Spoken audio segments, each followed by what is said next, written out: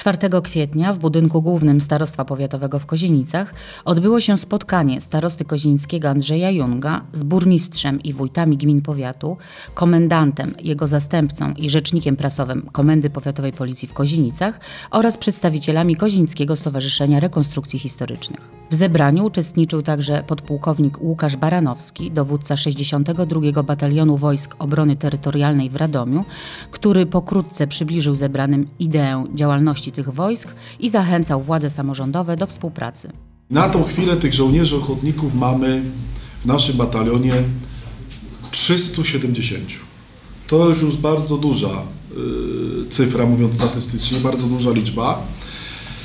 Y, Jak Państwo wiecie, mieliśmy nawet w tą ubiegłą niedzielę przysięgę w Radomiu, to właśnie ona zwieńczała to szkolenie podstawowe, gdzie miałem, być, miałem przyjemność być dowódcą tego zgrupowania na poligonie w Wędrzynie.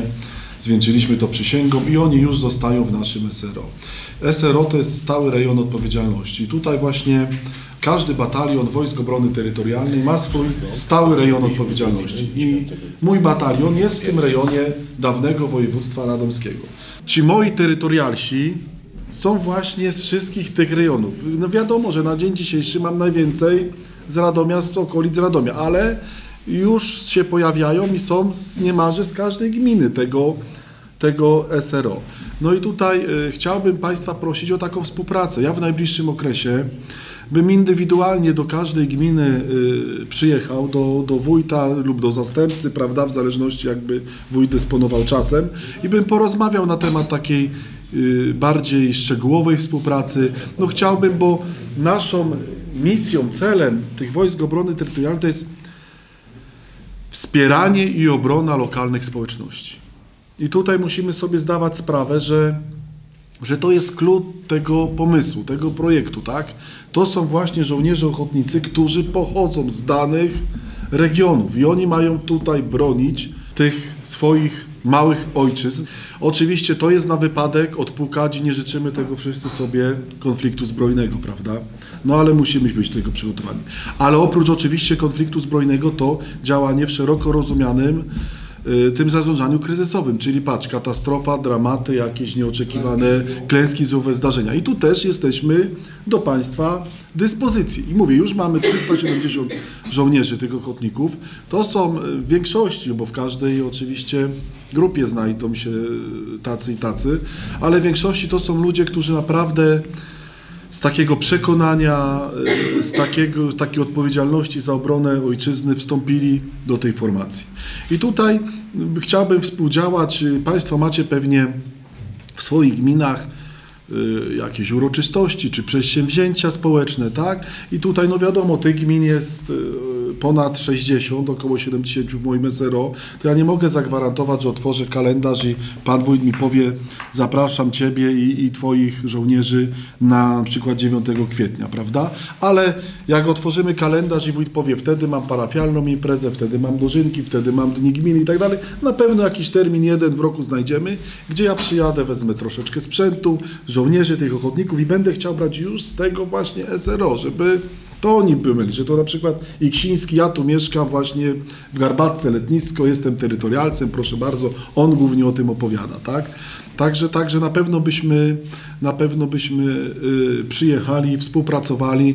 Wojsko Obrony Terytorialnej to też ta misja, o której mówiłem, ale też, no, jak powiedziałem, no nie ma się co oszukiwać, też jakiś pomysł na przyszłość dla młodych ludzi, tak? Przecież gros tych młodych ludzi, którzy wstąpią, to potem albo będą w policji, albo będą w zawodowej straży pożarnej, albo będą w wojsku. No nie oszukujmy się, tak?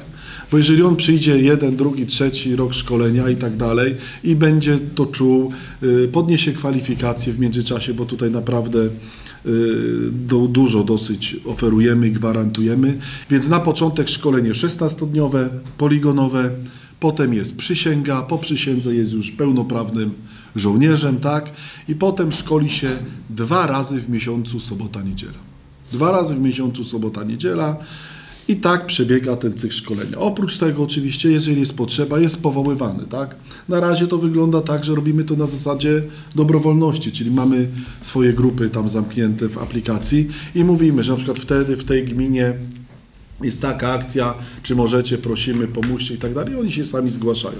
I to mają płatne tam od 100 zł za jeden dzień do góry, w zależności od stopnia wojskowego, a taka stała y, Stały ekwiwalent za tak zwaną gotowość to mają tam bodajże na rękę 360 zł, plus te dwa szkolenia po 100 zł miesięcznie, plus ewentualnie właśnie ten poligon, który odbywają, czy jakieś powołania, no to średnio minimum 700 zł miesięcznie każdy terytorialz może sobie jeszcze ewentualnie, y, mówiąc tak językiem roboczym, ale trafiającym no dorobić. Tak. tak to proszę Państwa wygląda i dziękuję Państwu bardzo i, i będziemy, będziemy współpracować, widywać się, działać wspólnie. Jeżeli by trzeba było z naszej strony jakaś pomoc, to wcześniej byłem szefem sekcji wychowawczej, czyli organizuję różnego rodzaju przedsięwzięcia, uroczystości, jak tu słyszę, że Państwo pracujecie nad wręczeniem tak ufundowanym sztandaru.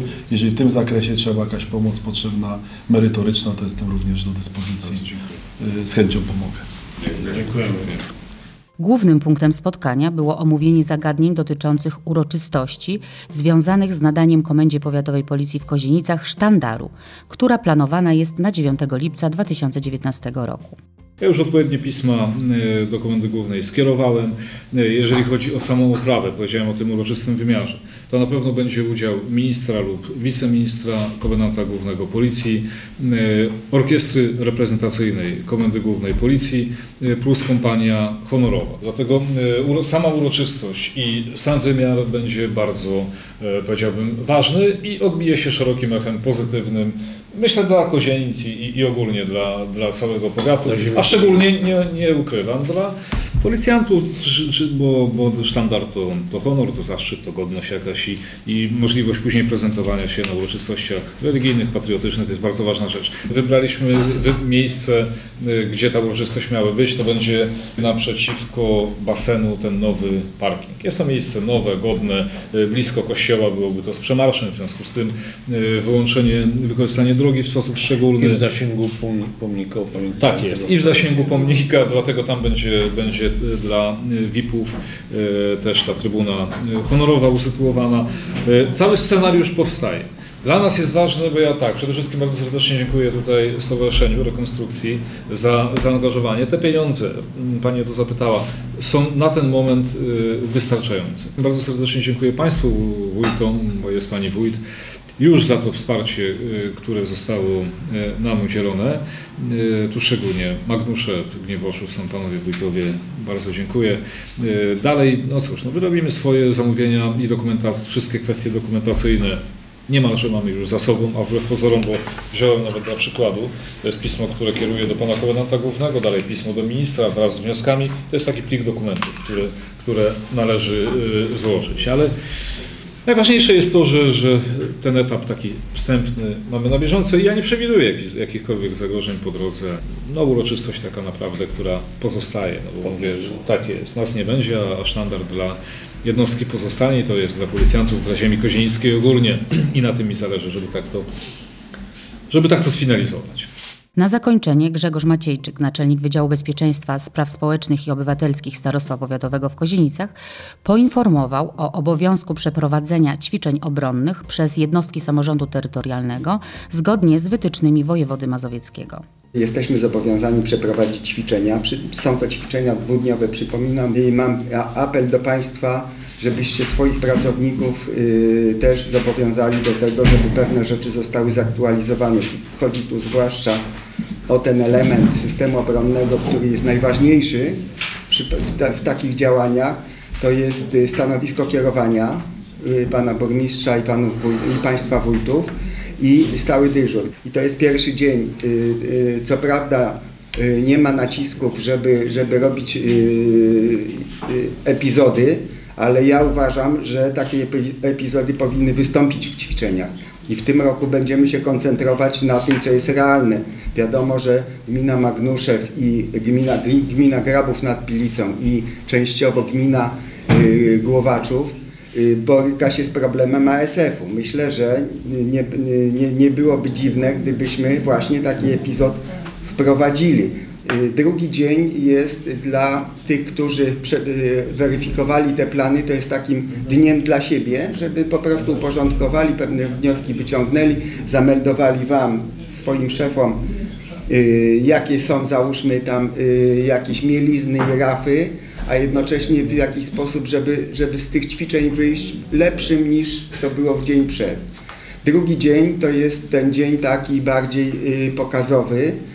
I tutaj, y, tutaj y, też zaproponowaliśmy właśnie y, 62 batalionowi y, piechoty lekkiej w Radomiu, żeby włączyli się do naszych ćwiczeń, dostają szansę, żeby zapoznać ter, poznać teren, a miejscem tych ćwiczeń w, na, w naszym, w tej chwili, w naszej koncepcji pana starosty, który zaakceptował ten pomysł, to jest elektrownia. I, i dlatego we wtorek spotykamy się z panem y, wiceprezesem Mazurkiewiczem, bo elektrownia Kozienice jednak jest ważnym, bardzo ważnym elementem, a wiadomo co, jak się żyje bez prądu.